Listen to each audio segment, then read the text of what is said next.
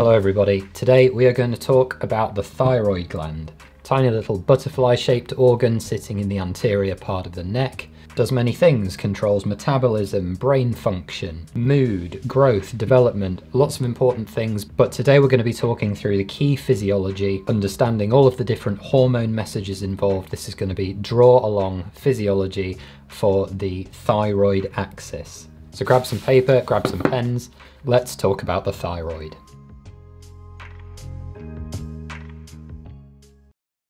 Right, let's start with our basic structures. So first we are going to start with the hypothalamus sat within the brain. Hypothalamus. The next structure we need is the pituitary gland, which as you will remember is divided into anterior and posterior lobes.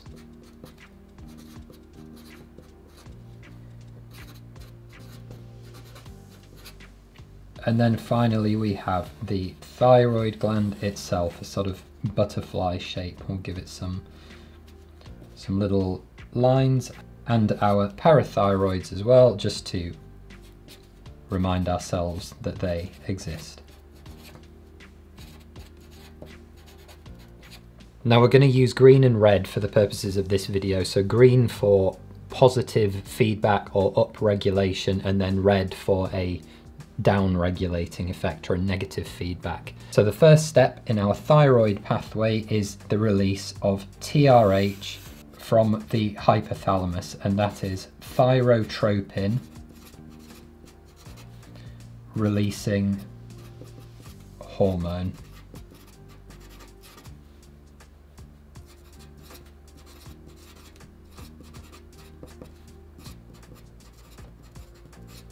That goes and stimulates the pituitary gland, which then in turn causes the anterior pituitary gland to release TSH, or thyroid stimulating hormone, because this time it's actually acting on the thyroid gland itself, and it's going to be stimulating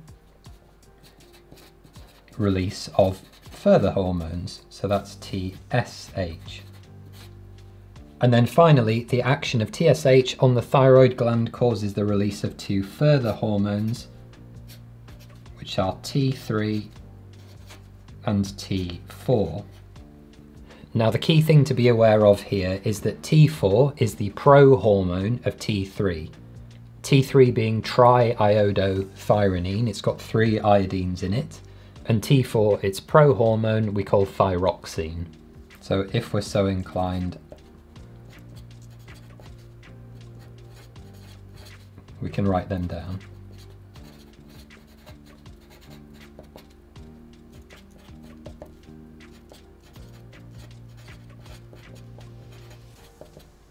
The other important thing to understand here is that only one of these hormones is biologically active. Only T3 is active within the body and exerts the effects more distally of the thyroid gland. T4 has to be converted into T3 in the peripheral tissues and virtually all cells contain the enzyme which allows this to happen. And it's not super important, but for those interested, the enzyme that carries out this function is called iodothyronine deiodinase. So now we've got our T4 and T3 circulating around. What does T3 do? There are some really key functions of T3. What does it do? It increases cardiovascular output. It increases catabolism, that is breakdown of large molecules into smaller ones, so it will help with breakdown of starches, proteins to provide energy. It increases your gastrointestinal function, and it also contributes to bone remodeling.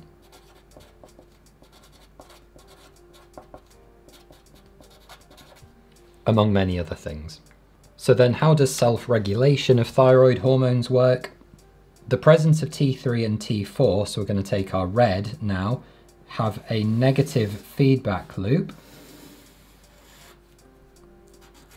on both the hypothalamus and the pituitary gland. That is to say that if you have excess or very high T3 and T4, you would expect to find low thyrotropin releasing hormone as the body is telling the brain not to make more, and you would expect a low TSH as well. Because the function of thyroid stimulating hormone is essentially making T3 and T4. If you have enough or too much, you don't want to keep making more or it will make the problem worse. Conversely, if you have very low levels of T3 and T4, both the hypothalamus and the pituitary gland will detect this and increase your levels of TRH and TSH to try and overcome the shortage. It's a delicate balancing act. Now, there are two really key clinical conditions that you need to understand when it comes to the thyroid gland. And this condition of having too much T3 and T4 circulating we call hyperthyroidism or thyrotoxicosis. Having too little thyroid hormone T3 and T4 we call hypothyroidism, too little thyroid. Now, when it comes to hyperthyroidism, the really key condition that you need to know about is called Graves' disease. So we'll make some notes over here.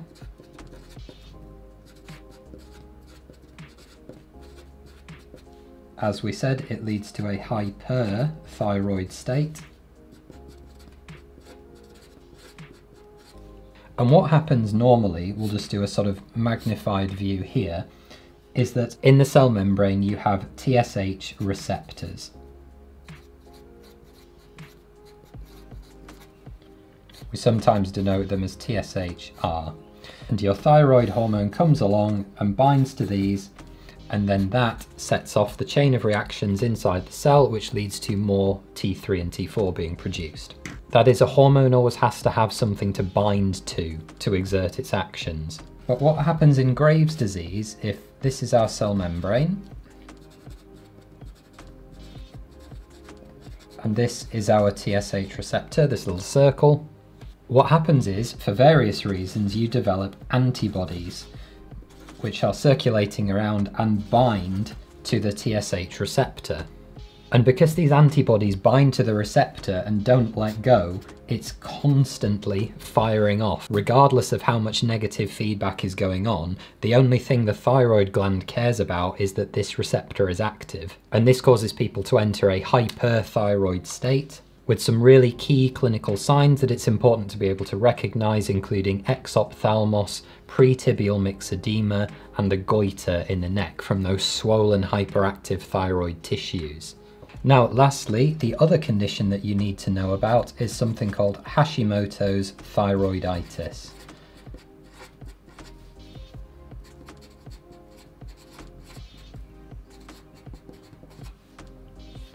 And this instead tends to lead to a hypothyroid state or too little thyroid hormone. And this is a very superficial explanation, but what happens within the thyroid gland is you have a precursor to the thyroid hormones called thyroglobulin, to which iodine needs to be added to produce T3 and T4. And this reaction is catalyzed by an enzyme called thyroid peroxidase, or TPO. And what happens in Hashimoto's thyroiditis is there's always an antibody around. You develop antibodies against this enzyme, against thyroid peroxidase, this stops the enzyme being able to catalyze this reaction, adding iodine to thyroglobulin, which in turn means you can no longer produce T3 and T4 in the amounts you need it. And that's how it leaves us in a hypothyroid state. So just to summarize our entire diagram here, the hypothalamus produces TRH, which then acts on the pituitary gland and causes the anterior part of the pituitary gland to release thyroid stimulating hormone, or TSH. TSH then stimulates the thyroid gland to produce T3 and T4.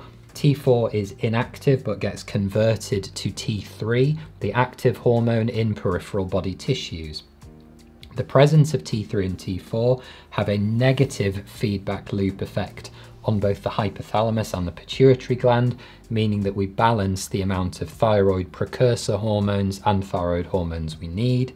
There are two key conditions to know about. One is Graves' disease, where you develop anti-thyroid stimulating hormone receptor antibodies which bind to that receptor and cause it to be permanently active, resulting in too much thyroid hormone. And the other key condition is Hashimoto's thyroiditis, where you develop anti-thyroid peroxidase, anti-TPO antibodies, which make us unable to produce the T3 and T4 hormones, which rely on the presence of this enzyme thyroid peroxidase, and so we instead end up in a hypothyroid state.